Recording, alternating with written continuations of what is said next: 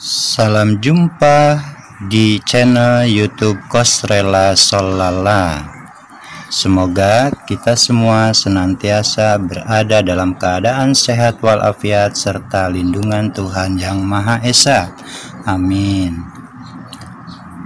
Anak-anak, kita sekarang belajar matematika masih tentang bab 2 yaitu kecepatan dan debit.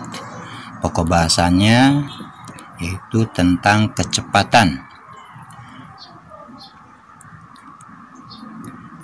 Video pembelajaran ini dipersembahkan oleh Pak Kos dari SD Negeri Jombang 03 Ciputat. Materi ajar ini diambil dari buku matematika kurikulum 13 kelas 5 SD atau MI semester pertama. Senang belajar matematika. Selamat mengikuti.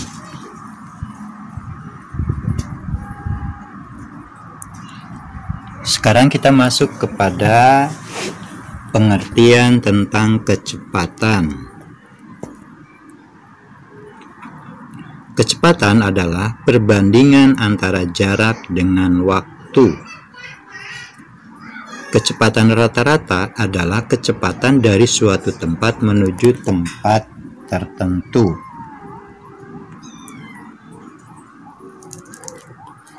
Rumus untuk mencari kecepatan rata-rata adalah kecepatan rata-rata sama dengan jarak per waktu atau jarak dibagi waktu.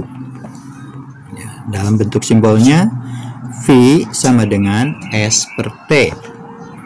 Keterangannya, V adalah kecepatan rata-rata, S adalah jarak yang ditempuh, dan T adalah waktu tempuhnya. Ya, kita ikuti contohnya agar kita mengerti. Ya, contoh soalnya 30 km per jam sama dengan titik-titik meter per menit. Nah,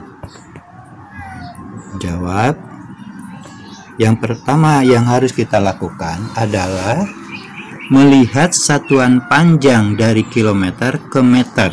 Ya, kita cari kesetaraannya. Di dalam tangga satuan panjang dari kilometer menjadi meter itu turun. Ingat, bila mana turun satu tahapan atau satu tangga maka dikali 10 dan ini kita lihat kilometer menjadi meter itu turun tiga tangga maka dikali seribu. Ya dari kilometer ke meter itu turun tiga tangga maka dikali seribu. Kemudian selanjutnya kita mencari kesetaraan dari jam menjadi menit. Ya kita lihat dalam satuan waktu. Konversinya dari jam menjadi menit adalah satu jam itu sama dengan 60 menit. Ya karena kita sudah tahu sekarang langsung masuk ke dalam soal kembali. 30 km per jam itu sama dengan 30 dikali 1000 meter per 60 menit ya 30 kali 1000 adalah 30.000 kemudian 30.000 dibagi 60 hasilnya 500 jadi 30 km per jam itu sama dengan 500 meter per menit. Nah itu. Jadi di sini yang perlu diperhatikan adalah menghafalkan tangga satuan panjang atau konversi satuan panjang dan konversi satuan waktu. Ini yang perlu diingat dan dihafalkan ya karena untuk memudahkan mengerjakan soal-soal yang berhubungan dengan kecepatan tentunya kita harus hafal tentang konversi satuan panjang dan konversi satuan waktu. Sekarang kita masuk kepada contoh soal cerita. Nomor satu, Pak Ali mengendarai sepeda motor selama 2 jam dan menempuh jarak 90 km. Tentukan kecepatan sepeda motor Pak Ali.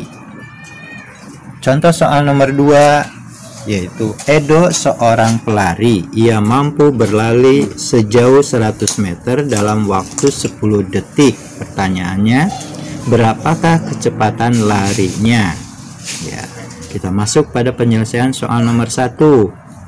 Diketahui T sama dengan 2 jam. T itu adalah waktu tempuhnya. Dan S sama dengan 90 km S adalah jarak yang ditempuhnya. Yang ditanyakan adalah V sama dengan titik-titik kilometer per jam. Yang ditanyakan adalah kecepatan rata-ratanya. Maka kita masuk ya untuk bisa menjalankan atau menjawab soal ini sekali lagi kita harus ingat tentang rumus mencari kecepatan rata-rata. Rumusnya P sama dengan S per T. Kita masukkan angka-angkanya. V sama dengan S nya 90 km dan T nya 2 jam. Jadi V sama dengan 90 km per 2 jam 90 dibagi 2 hasilnya 45 jadi kecepatan sepeda motor Faali adalah 45 km per jam.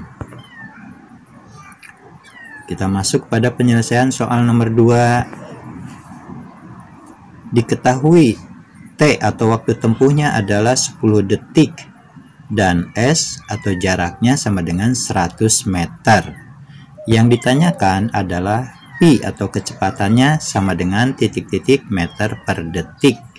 Ingat, rumus untuk mencari kecepatan rata-rata adalah V sama dengan S per T kita masukkan angka-angkanya V sama dengan 100 meter per 10 detik 100 dibagi 10 hasilnya adalah 10 maka hasil dari perhitungannya. Berapa kecepatan larinya Edo? Adalah 10 meter per detik. Nah itu langkah-langkah di dalam menyelesaikan soal cerita. Ya dari penjelasan pertama sampai Penjelasan terakhir ini mudah-mudahan dapat dimengerti. Tapi ada catatan sekali lagi untuk bisa menjawab atau menyelesaikan soal-soal cerita yang berhubungan dengan kecepatan. Yang pertama harus hafal tentang kesetaraan satuan panjang dan satuan waktu.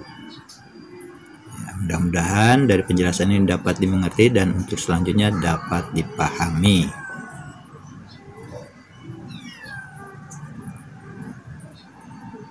Terima kasih, semoga bermanfaat.